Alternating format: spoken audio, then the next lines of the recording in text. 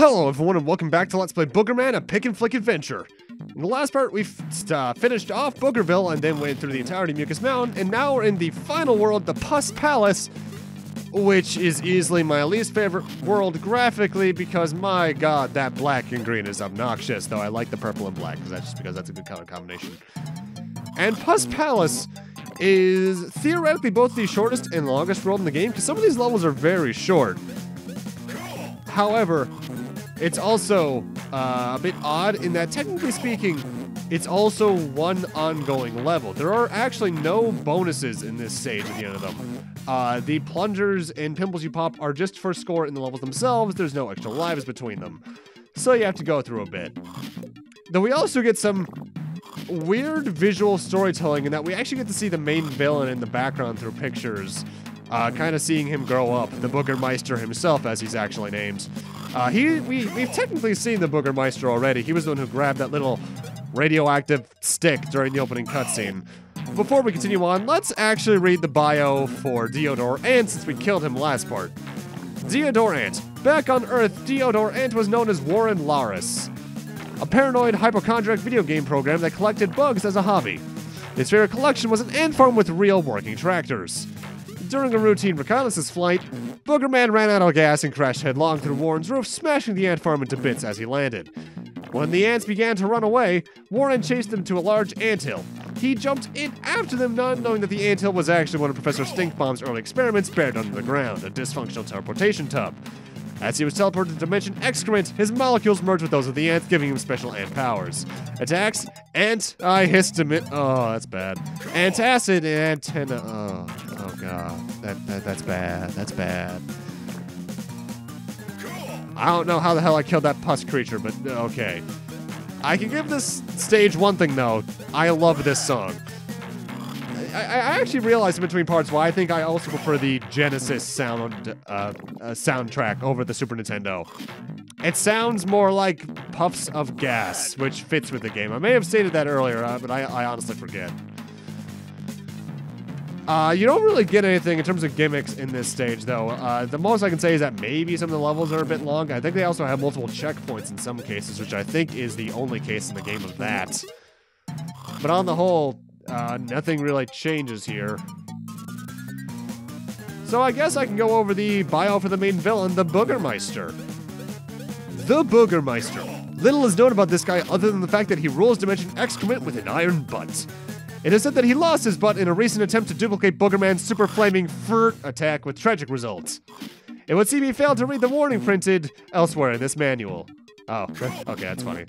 Uh, rather than a chip on his shoulder, he's got a booger on his finger and he can't get it off. He's a snotty boy that loves to jaywalk, violate carpool laws, and spit on sidewalks. His favorite saying is, you can pick your friends and you can pick your nose, but you can't pick your friend's nose. Unless you're Boogermeister, of course. Wow, that may have been the worst bio of all because it's just kind of boring. Attacks? Unknown. Rumored even to be more vile and discussing the Boogerman on his best day. Impossible, you say? Yeah, that was, that was the thing. Uh, real, uh, something that is kind of cool though about the later levels of the Pus Palace is that when you get sections like this, you can actually just jump down to the floor, and in some cases you might actually get rewarded for that, like that cape. Uh, that also allows you to skip maybe about a minute of level. Somewhere around there at least. I, I think the biggest annoyance about this level is that, oddly enough, for even for this game, it's very easy to forget where you are in the level because it all looks too much of the same. I mentioned before that that's kind of the big issue of this game's levels, the lack of set pieces, but in this game's, uh, this stage's case in particular, due to the ongoing background, it, it's even easier to lose where you are.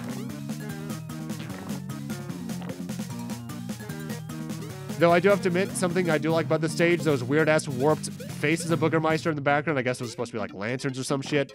Those actually remind me a lot of Cool World on the Super Nintendo for some reason as well.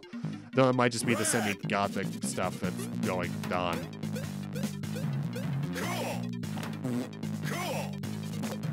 Uh, something I'm surprised this game didn't do, though, because of something that was just so popular to do back then, is I'm surprised it doesn't have a boss rush of some sort. Even if it's against, like, weakened versions of the boss that are maybe missing an attack and some health. This seems like a game that would have done something like that, especially where there have been exactly four bosses beforehand, and four levels in Pus Palace. It just feels weird that it doesn't for some reason. Not that I mind because I don't like the bosses in this game to begin with, but it's still. Now, something I've forgotten about, and I'm sorry if I actually mentioned this in an earlier part and just forgot to continue doing them, is that every single one of the worlds also has a bio to them. So let's go over all the ones we got. Flatulent swamps. Totally nauseating, dude. You'll have to watch where you step here. These swamps are filled with the foulest substances and Dimension X-Crement. Trudge through the sludge, wait in the glade, and hope you don't sink in the stink. You can cut the cheese, but can you cut the mustard to make through it, make it through these haunted bogs? The pits. This world will make your skin crawl. It'll make your hands stand on end and you'll want to puke. You run the length of intestinal tracts as you wind your way through fleshy fields of hair, moles, and ew! What's that thing? Do you have the guts to go for the glory? Oh. Boogerville. This is a quiet little town as pretty as a peach. Snot! Forget about the enemies, even the buildings can be fatal. These goblins are certainly not architects unless they want to be studied unless they studied under the stooges. Last time they tried to take out the trash, they gave up and just moved. It's an interesting place to visit, but you won't want to live there. Can you defeat the Boogermeister's army of nose goblins? Who couldn't? Yuck, yuck, yuck. Okay then. Mucous Mountains. Oozing with goo, Mucous Mountains are home to a bunch of buttheads. They don't take kindly to unexpected guests dropping in, but they're sure to help you drop off. You can spring your way to the top, but be careful not to fall. At this height, it's no time to take a trip. Hang in there. Don't make a mountain out of a molehill and drop out. Okay then. Nasal Caverns. This place is nothing to sneeze at. Lakes of fresh green snot flow beneath, formed by post-nasal drips that seem to ooze out from everywhere. Watch out for the stalactite goblins. They like to drop by now and then. Don't get caught in the snot and blow it, uh, and blow it, or you'll get snuffed. And finally, Pus Palace. You'll just have to wait and see for yourself. Okay, then that was eventful. You know, it is interesting to look back at what was considered cool in manuals back in the day. Mind you, I would like to see what manuals today would have to offer, but they don't really exist now, do they? I miss them. Not only were they fun to read in the car ride home from getting the new video game when you weren't driving yourself, that is, but they were just kind of cool. Also, I just noticed that's disgusting. Uh, the ropes in this stage, the thing that they're hanging out of is a nose, so you're literally just climbing on snot. Oh. Now, something that is a bit distracting about this stage, at least in terms of getting lost, is that uh, the doors that teleport you similarly similarly to noses in previous stages are also the doors that end the stage. So you might get your hopes dashed about a stage ending a bit earlier than you would actually hope.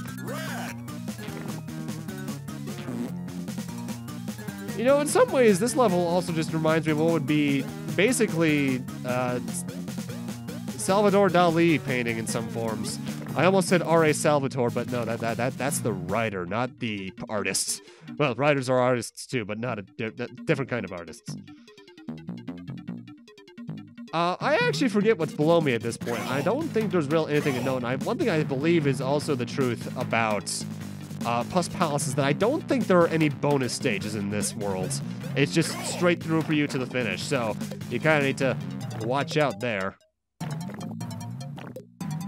And here we see me doing what I was telling you guys about earlier in the best advice when it comes to facing enemies. Don't rush forward, take your time and stop every couple of seconds. Because, uh, well, otherwise it might take a while. Though, like I said again, this game is a war of attrition. There's basically passwords for every stage that you get, I believe, at a game over. So, it, at this point, this game really is just a war of attrition. I believe there's even a password that just sends you right to boss fights. So, this game is kind of kind when it comes to that.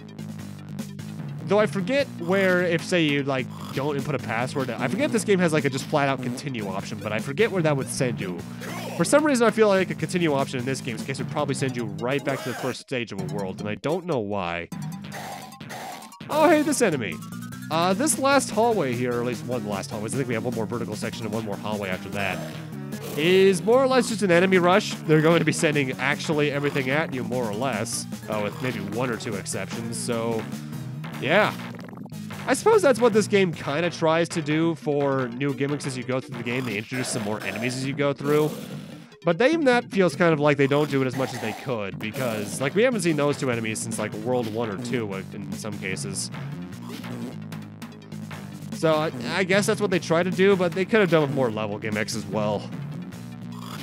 Not overkill with him, like maybe a water world where like your jumping's changed and such. But either way, it's time for the boss fight.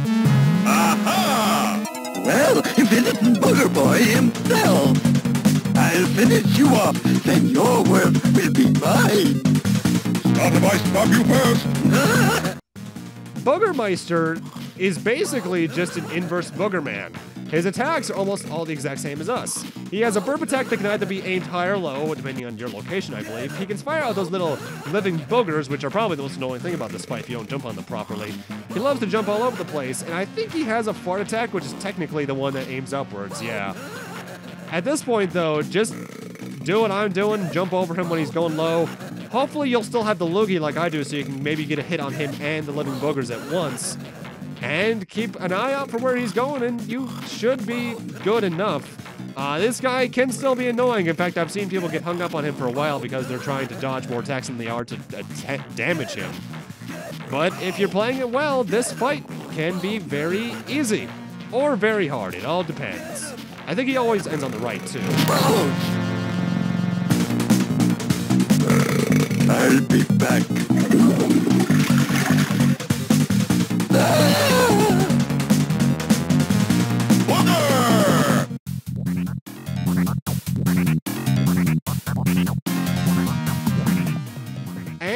Boogerman. I like it, but it's very flawed. The camera's not the best, some of the enemy placements aren't good, the boss fights are just plain annoying in a lot of cases. But at the same time, this game had a lot of effort put into it, very visually especially, and the manual just reeks of charm. It's not a game for everyone, but it is at least worth a playthrough if you're interested in platformers because it's a very unique feeling game. And I kind of wish it got a sequel to see how they could have expanded on it and refined it. If you want to play it, it's on Genesis, Super Nintendo, and I think some of the virtual consoles, but I need to look that up for a fact. In terms of what's next up, I want to see if I can return to the Nintendo DS for another game before I head into another series on that on that handheld. But I'm to need to see what I can do about that first. I'll get to that when I get to it, really. Uh, let's see. Yeah, this has been on Virtual Console since 2008, so it's a very early Virtual Console adopter. I would guess it's the Super Nintendo version. And while I'd, I think you should all approach the Genesis version more so because I think it's a bit more, uh, not visually interesting, but the soundtrack fits a bit more. I feel. It's a very juvenile game, but the game itself is fun enough to actually warrant something, I would think.